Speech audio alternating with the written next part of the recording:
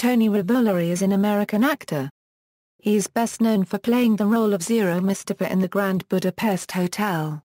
He is the younger brother of actor Mario Revolori. Revolori was born and raised in Anaheim, California. He is of Guatemalan descent. His father, Mario Quinonez, was an actor when he was young. Filmography, films, television, references. External links, Tony Revolori at the Internet Movie Database.